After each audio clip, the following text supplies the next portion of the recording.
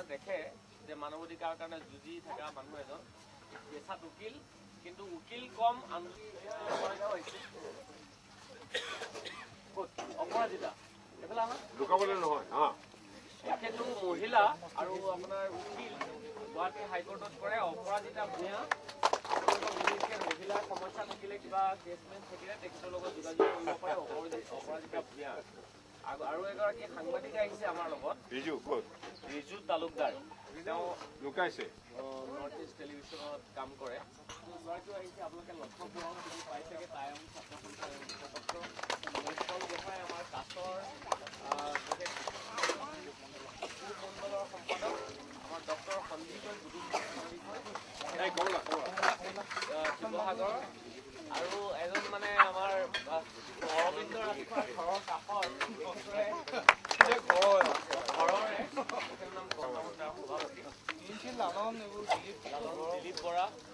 আহিছে মটকৰ যদি ৰৈ গৈছে তেতিয়াহ'লে বেয়া নাপাব। আমি কেইবাঘৰো মানুহ সোমাই আহিছোঁ আৰু কেইঘৰমান বাকী আছে। গতিকে আপোনালোকৰ ওচৰত আমি বেছি সময় নৰওঁ। খালি এটা কথা আমি কৃতজ্ঞতা আপোনালোকক জনাইছোঁ যে আপোনালোকে যি এটা সংগ্ৰামী ঐতিহ্য ইয়াত বজাই ৰাখিছে এইটো অহা দিনবিলাকতো বজাই ৰাখিব। আমি চৰকাৰৰ এই হত্যালীলা বন্ধ কৰিবই লাগিব। কোনো মূল্যৰ বিনিময়ত। সেইটো কৰিবলৈ আমিও চেষ্টা কৰি আছোঁ। আপোনালোকে কোনো ৰাজনৈতিক দলৰ ব্যক্তিগতভাৱে দলৰ নাম মই নোলোৱাকেও কওঁ। যে সঘনাই অসমত যিটো দাবী কৰে যে ন্যায়িক তদন্তৰ দাবী কৰিব লাগে আমাৰ ইয়াক বিচাৰ লাগে সেইটো আপোনালোকে দেখিছে বিভিন্ন হত্যাকাণ্ডৰ ক্ষেত্ৰত কি হয়। প্ৰথম এজন মেজিষ্ট্ৰিয়েল ইনকুৱাৰী এটা দিয়ে ই যিবোৰ ন্যায়িক তদন্ত হৈছে সেই তদন্ত ফলপ্ৰসূ কিমান হয়। তাত ৰাজনৈতিক দলবোৰে বিশেষকৈ ক্ষমতাধীষ্ঠ ৰাজনৈতিক দলে এটা মাইলেজ ল'বলৈ বিচাৰে যে এনকুৱাৰী দিছোঁ আমি। গতিকে ইয়াত কিছু সময় যাব মানুহৰ ক্ষোভটো নিজে নিজে মৰিখন হ'ব। লাহে লাহে কমি আহিব।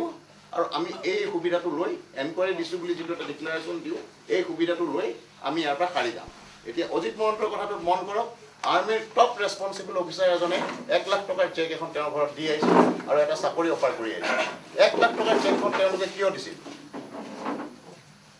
আইনগতভাৱে যদি এজন মানুহক হত্যা কৰা বুলি আৰ্মীয়ে ষ্টেণ্ডটো লয় ল'লেহেঁতেন এক লাখ টকাৰ এখন চেক অজিত মহন্তৰ ঘৰত শীৰ্ষস্থানীয় সেনা বিষয়াই দিয়াৰ অৰ্থটো আৰু তেওঁৰ পৰিয়ালৰ এজন লোকক চাকৰি যচাৰ অৰ্থটো এইটো যে আৰ্মীয়ে অফিচিয়েলি অজিত মহন্তৰ হত্যাটোত তেওঁলোক যে দোষী অৰ্গেনাইজেশ্যন হিচাপে সেই কথাটো মানি লৈছে সেই সত্যটো মানি লৈছে এতিয়া প্ৰশ্ন হ'ল the airing what really prevented